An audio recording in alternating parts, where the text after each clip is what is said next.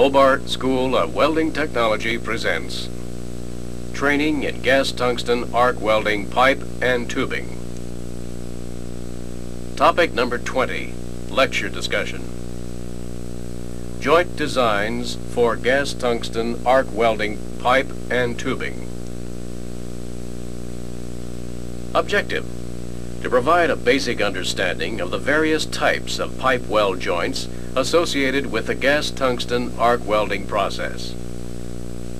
The gas tungsten arc process is normally used for welding pipe where high quality deposits are required, such as in the case of pressure or power piping. High pressure piping is normally found in thermal and nuclear power generating stations, refineries, chemical plants, shipyards, and other related facilities. Tubing is also used in these facilities in many applications. Although differences do occur, the joint design is similar for equivalent thicknesses of pipe and tube. The type of base metal has an effect on the joint design. Designs for steel pipe joints differ from those of aluminum pipe due to thermal conductivity, melting point, and other physical differences. We will confine our discussion here to the steels which have similar characteristics and make up the majority of pipe welding. Other factors which affect the joint design are the accessibility of the joint, the required strength, and the position of the joint. In most cases, the joint is only accessible from one side, thus restricting welding to one side. On large diameter pipe, welds are sometimes deposited on both sides of the joint. Strength is based on the amount of joint penetration. Pipe welding, especially in critical applications, requires complete penetration of the joint, and the joint must allow for full penetration. The gas tungsten arc process is capable of welding in all positions. Pipe joints may be located in the 5 or 6G positions, which simulate many or all of these positions. Consequently, pipe joint designs must be suited for welding in all positions. The joint designs for gas tungsten arc welding of pipe are especially affected by wall thickness. On thin wall thickness pipe, the edges of the joint are normally left unprepared, except for some grinding.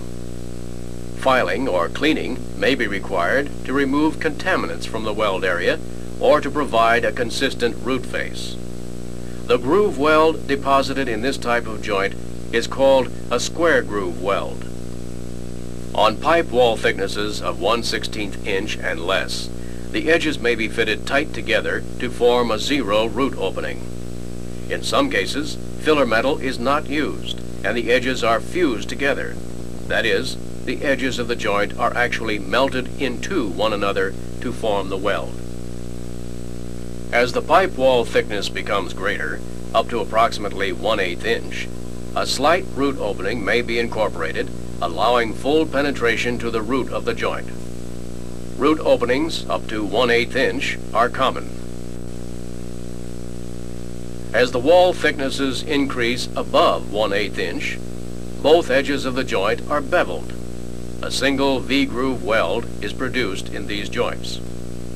The addition of the bevels provides better accessibility to the root of the joint. The groove angle is normally 75 degrees, which is made by preparing each edge with a 37 and 1 half degree bevel. The root opening is normally 3 32 inch, plus or minus 1 32 inch, similar to the root openings used for a square groove weld joint. The root face is usually 1 16th inch, plus or minus 1 32 inch, which allows better control of weld quality at the root when using the gas tungsten arc process. For wall thicknesses greater than 3 4 inch, a modified V-groove is sometimes used in order to reduce the volume of filler metal required, as well as the welding time. A bevel angle of 37 and 1 half degrees is produced on the joint edge up to 3 quarters of an inch.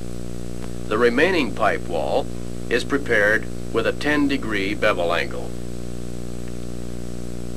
In some cases, a radius is placed on the edges of thicker members to be joined. This is commonly called a single U-groove weld. The U-groove provides better accessibility to the root while reducing the rate of filler metal consumption and welding time as compared to single V-grooves. The cost of preparation, however, is higher on these types of joints since the edges normally have to be prepared by machining. Joints like these are normally used in conjunction with a consumable insert.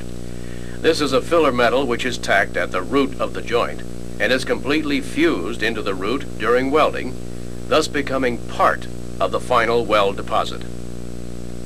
Consumable inserts are used to assure complete, uniform joint penetration and root reinforcement. There are several types of consumable inserts. One of the most common is the A or EB type, which forms a ledge for both edges of the joint.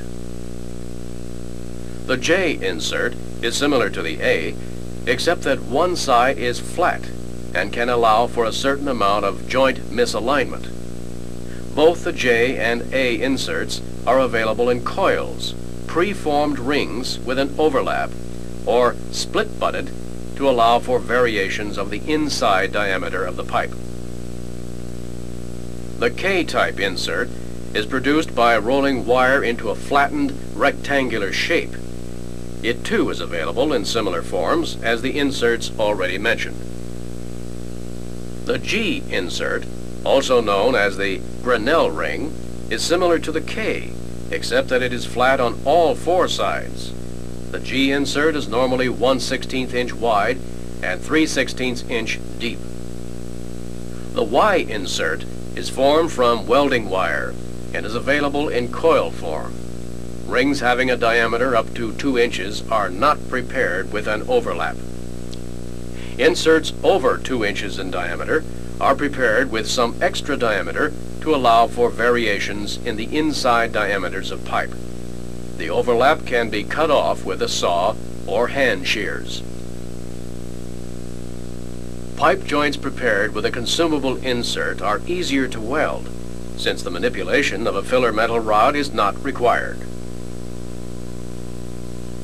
When a K or G insert is used, the insert is sometimes allowed to extend above the root face in the flat portion of the pipe and below the root face in the overhead portion. This procedure compensates for sagging of the molten metal due to gravity. When a V-groove weld joint is used with a consumable insert, the root face is normally reduced to zero when a land is used, it is sometimes extended a small amount from the beveled edge of the joint. By using the extended land, the groove angle can be reduced slightly, while accessibility is increased because of the increased width at the root of the joint. When welding with automatic gas tungsten arc equipment, an extended land is commonly used with a zero root opening. This manner, the root pass can be produced without the addition of filler metal. At times, it may be necessary to weld two pipe sections with different wall thicknesses. In this case, a specialized kind of joint called a transition joint is normally prepared. The thicker of the two members is machined down to match the thickness of the thinner member before reaching the joint edge.